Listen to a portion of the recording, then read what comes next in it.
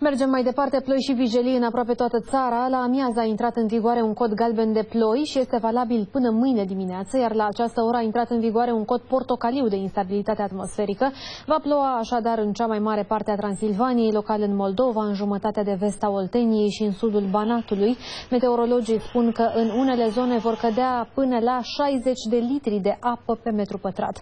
Avertizarea va, intra, va fi în vigoare până mâine dimineață la ora 8 și în plus la această oră sunt în vigoare și două coduri roșii de ploi torențiale în zona de munte a județului Alba și în două localități din Bacău. Aceste avertizări sunt valabile timp de o oră.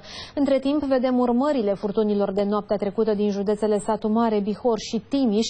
Vântul puternic a doborât zeci de copaci, iar circulația a fost blocată pe mai multe străzi. Cele mai multe pagube sunt în orașul Satu Mare, unde mai multe mașini au fost avariate. Crengi rupte de vânt au căzut pe firele de tensiune și au oprit temporar alimentarea cu electricitate publicitate.